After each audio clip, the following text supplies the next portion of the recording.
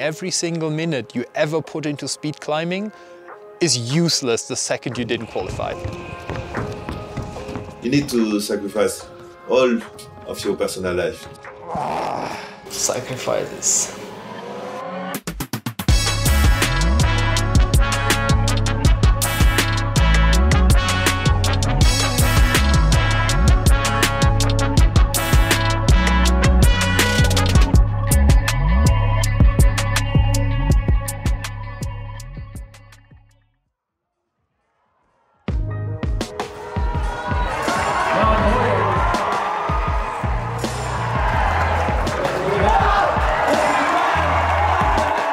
I mean, the way the format works, the way we had to qualify meant that every athlete had to pick up a new discipline. And with the Olympics now I had this new discipline that I only did with the purpose of qualifying and that was the biggest uh, sacrifice in my training, in my climbing life. Like it doesn't, it was all for nothing if you don't qualify for the Olympics. I think that's the main difference between the, like this format and normal World Cups because usually like you enjoy your training and if, if you train for bouldering World Championships and you don't make finals, you get to climb outside and you're in your best shape ever, so you kind of get rewarded in a different way. Yeah. But with speed climbing, like there's not, none of that. Yeah. so, I mean, I gotta talk to Mad Rock, but I think the second I, am done with the Olympics, I'm gonna burn my speed climbing shoes, and I, I mean, I'm, I'm done with that shit.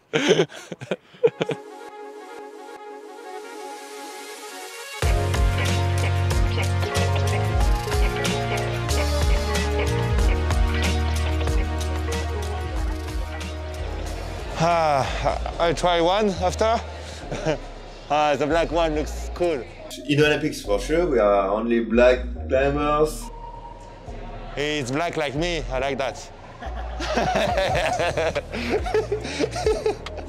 In international camp, uh, it's not a problem. We are black, just we are human. Huh? It's the same.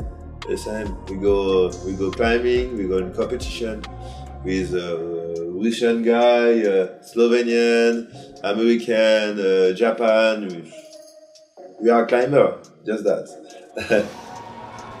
okay, are we ready? oh shit! Yeah, to try is to give yourself a chance to succeed.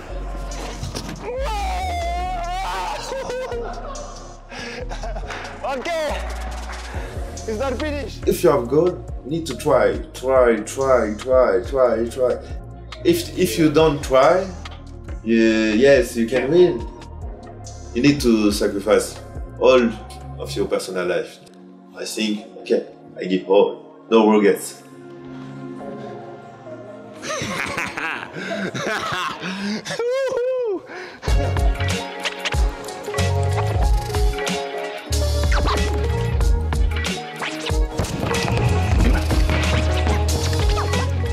Sure, Olympics it's is very very good for for for our sports, and I think for the next generation is that you have inside climber, outside climber. It's is that for Bassani. We, we are inside. Uh, we climb only inside. When we go outside, it's for chill or for with friend, and not for performance or or climbing. It's only for holiday. Sometimes I do easy routes in rest day and yeah, I feel better for the next trainings. I just like climbing easy routes. Sometimes more than hard routes.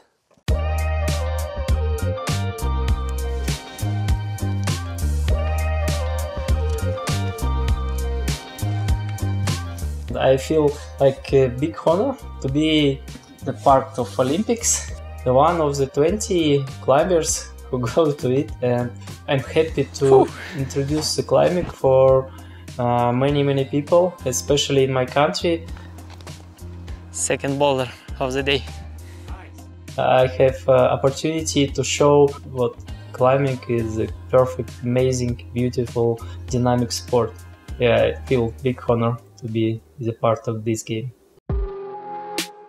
Alexey went through like surgery. I think he would he would not have been able to qualify unless the European Championships got like moved to uh, to last year. Yeah, this was like uh, maybe very very stupid thing to try to competition after three months after surgery but still like big journey i just uh, have you know like conversation like deal with myself that i will do everything for it till i have the chance i will do everything so nothing else matters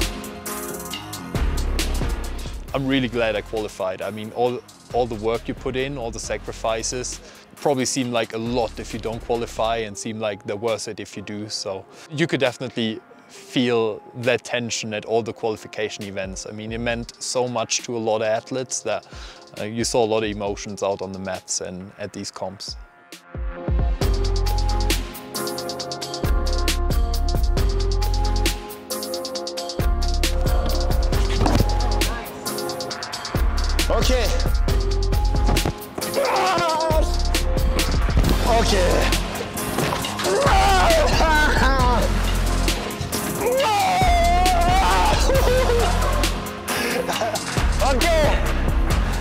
I mean, at some point um, I'll have to stop competing, obviously. I'm 29 year, years old now and I don't know, there's no 40 year old um, doing the comps right now. Is oh